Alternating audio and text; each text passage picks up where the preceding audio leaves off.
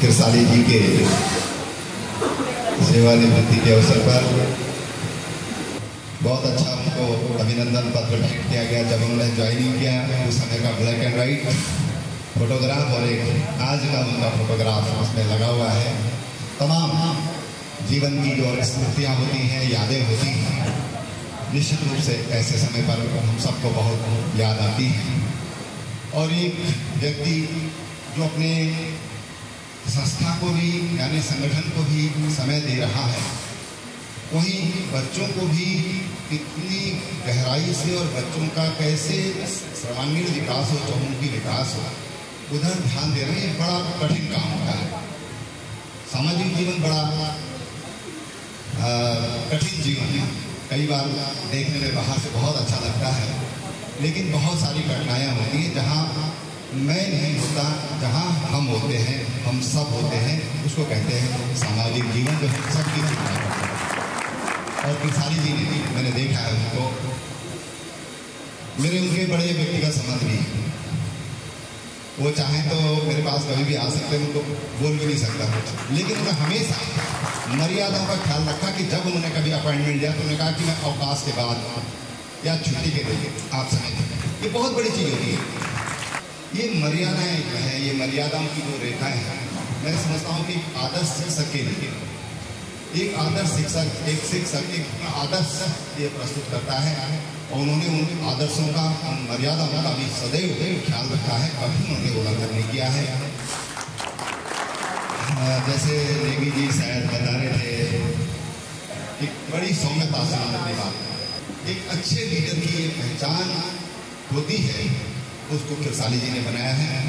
आज जब उनका विदाई का समारोह हो रहा है, मेरी इच्छा थी, मैं तो आज वास्तव में केवल इन्हीं की वजह से आया। मुझे कल फिर सिंगापुर जाना है। और मैं था कि मैं एक दिन के लिए जाऊँ? सोलह तारीख से पूरी रात यात्रा में चल रही है और दिन लगा, आप लोगों ने यहाँ भी समाचारों में आया हम लगातार जो उद्योग जगत के लोग हैं फ़िल्म जगत के लोग हैं, उनको आमंत्रित कर कि हमारी स्टेट में आप लोग आइए इन्वेस्ट करिए, हम आपको सुविधाएँ देंगे हमारे लोगों को रोज़गार इस बीच में हमने काफ़ी प्रयास किया और मुझे लगता है कि निश्चित रूप से वो उसके परिणाम भी आने वाले समय में हमारे राज्य के, हमारे विशेषकर हमारे नौजवान हैं, जो हमारे शिक्षित नौजवान हैं, उनको उसका लाभ मिलेगा। ये बच्चे हमारे प्राइवेट स्कूल में जा रहे हैं। लोगों ने ऐसे टाई पहना कि चाहे पढ़ाई कैसी है, क्या है, कुछ पता नहीं क्या है। सबसे योग्य शिक्षक अगर है तो गवर्नमेंट स्कूल होगा। टॉप का नंबर वन ये गवर्नमेंट स्कूलों में आता है। राजकीय सेवाओं में आता है। और इसलिए थोड़ा सा मैं समझता हूँ कि मैं विधायक होने के नाते, इस क्षेत्र का विधायक होने के नाते, प्रदेश का मुख्यमंत्री होने के नाते, मैं ज़रूरी मेरे सुझाव हमेशा आमंत्रित रहेंगे कि हम कैसे अपने विद्यालयों की स्थिति ठीक करें। कैसे ठीक है? ये बच्चे अगर माना, आज हम कहते साहब, हम हम इतने शिक्षा मित्र हैं, इतने बी एड हैं इतने फलाने हैं, इतना कि ये खाना हम सब संघर्ष कर रहे हैं।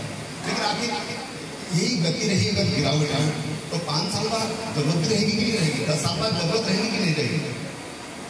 ज़रूरत रहेगी कि नहीं? किसके लिए संघर्ष करना है साहब? किसके लिए भ्रमण बनाना है साहब? किसके लिए करना है? ये सवाल ज़रूर है मेरा भी दर्द है मैंने आपने दर्द मेरे पास आकर कहना। साली जी को मैं बहुत बहुत, मैं सही बात बता बड़े हृदय से उनको हमेशा वो खुश रहते हैं। कभी कोई बात भी कहें, कोई कठोर बात भी कहें तो मुस्कुराते हुए हँसते हुए अपनी बात कहते हैं। और ये खासियत हमारी बनी रहनी चाहिए खुशी हर हाल में चेहरे पे चाहिए। ये खुशी आपके चेहरे पर हमेशा बनी रहे। ऐसी बहुत हैं। बहुत बहुत बधाई बहुत बहुत